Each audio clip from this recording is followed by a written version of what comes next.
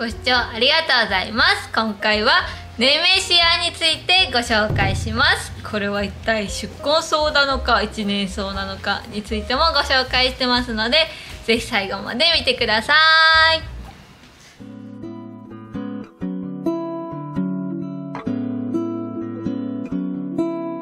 はい、えーいつもご視聴ありがとうございます。開花園の三国です、えー今回はまあリサさんがこれ持ってきたんですけど名前なんちゅうの？ネメシア。ピンポン。ネメシアね。でネメシアっていうのは実はいいつの植物やと思う？いつでもあると思う？うん大体春からな。あ春と秋ねんね。見てもほら開花時期ってね。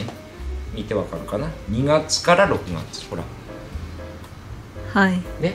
あとどんな感じ？10月から12月。12月。今何月？12月。なんでこんなんあるの？まあ12月。もう終わりやん。は終わりねえかなんであんの？いなんで？なんで俺仕入れてくんの？なんで？うん？なんで？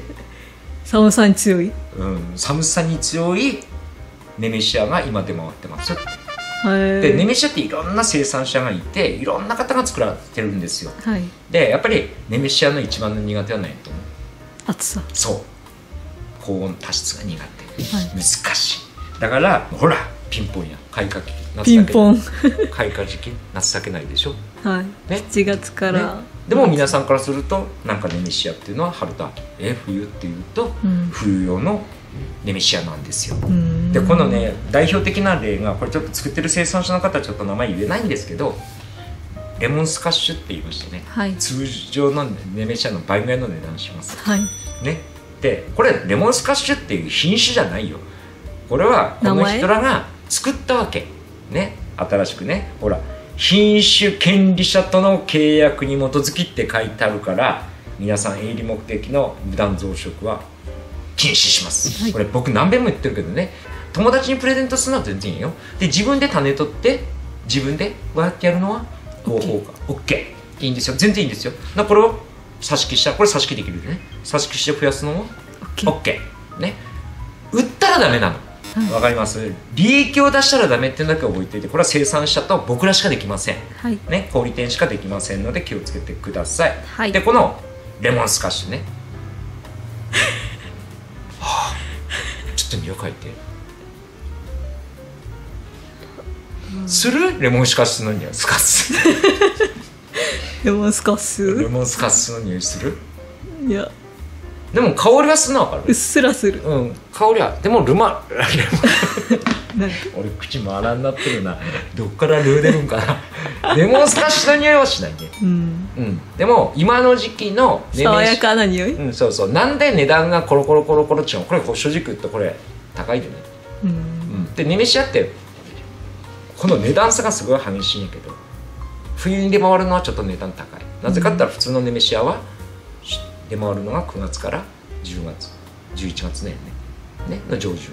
でも11月の下旬が普通ないの、うん。でも寄せ植えとかにめちゃくちゃ可愛いの、はい。でそれ用にやっぱ作られてるんやね、うん。うん、だから生産者もやっぱすごいコストと時間をかけてますんでね。品種改良？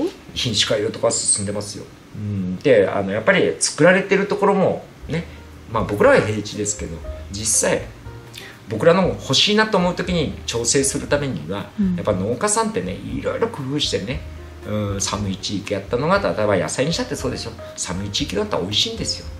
北海道なんてわかるでしょ。くっそ寒いところやから閉まっててうまい閉まってるしやっぱお野菜とか美味しいですよね、うん。ねだからやっぱそういう風な寒いところでねあのあれして皆さんの環境とは全く違うところで連れてるとちょっとタイムロスを出していかないといけないんでね、はい。まあまあ、出荷調整は本当に大変やと思いますよ。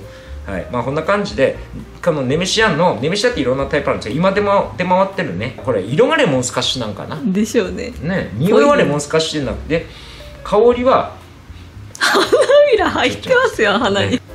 えそれは出根そうですか？んいい質問。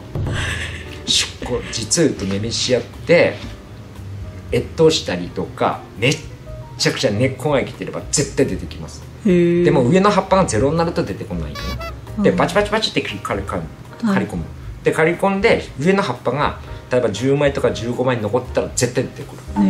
強いよ。で雪の下かってなってしまうとやっぱり雪のねあの水分ってと溶ける場合がある、うん。なくなってしまって腐ってねね。で根っこだけ残ってたら出てくるかって言ったら難しい。うん。だからピンチする時はこの上から5センチぐらいのところでピンチして、はい。なるべくねこの葉っぱが溶けないように、はい。雪当たらないところにちょっと移動しておくとはい。へえ春に出てくる、へえうん。だだから皆さん1年草2年草の意味わかるかな、はい、どうぞ。一年周期か二年周期そうそうそう。な1年周期って何？花が咲いて終わるまで種が葉っぱが出て花が咲いて、うん。枯れて種ができるまで、そうピンポン。ピンポン。ね。種をまいてカチカチカチカチカチカチってスタートします、はい。種をまいた瞬間ね。だから種から何が最初に出何が出るの？茎。根っこが出るやんちっちゃい根っこな。ちっちゃい根っこが出てそこから根っこがこう出てくるやろはい。でちっちゃいちっちゃいね。でこれで、まあ、例えば1週間経ちましたで表面から土から出てきました。はい。混合性します。混合性するから根も大きくなる。はい。こうなっていったら最後に花が咲く。はい。花が咲いたら次のの子孫の草に種が落ちる。はい。種が落ちてね土ね種。で種を植える。また根っこが出てくるまでこれが1年サイクルで行われるのを1年草って言います。はい。な多年草は？種で増やす。ん？何年かわからない。そう。大体2年から3年のスパンでそれがありますよ。うん。だネメシアはどっち？種そうそう。実は多年草なの。1年草でないの。でもなんでできないの？2年間楽しむことできないの？暑さに弱い。そうそれだけなの。だから ほら見て。よく見てここ。ほら夏だけ飛んでるでしょ。あはい飛んでます。こうやろ。なスタートがどこ？そう10月11月12月1月が？ない。なんで？雪。そう。雪で溶けてしまう可能性があるけど実は上手にやると越冬できる場合があるの。